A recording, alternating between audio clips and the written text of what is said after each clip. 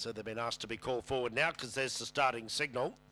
Tote favourite, 8 Mitchy Madam at 220 the tote, 260 fixed. It's won four of its past five. This is the uh, fifth grade final out of the heats here last week. He's a size up, Fiery Bends, Curious Style, Thriller Machine, all heat winners. No Calaratar scratched here, it was another heat winner. I've gone for the four Curious Style here, looking for three wins on in. There's the green light is on, set to run, racing now.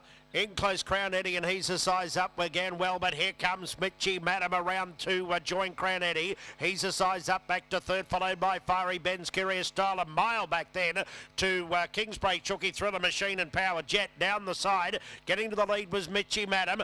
There Crown Eddie and he's a size up runs on out wide. Mitchy Madam in front it broke clear. Mitchy Madam one from a photo Crown Eddie or he's a size up followed by Curious Style and Fiery Ben's. A break in the field then to Kingsbury Chooky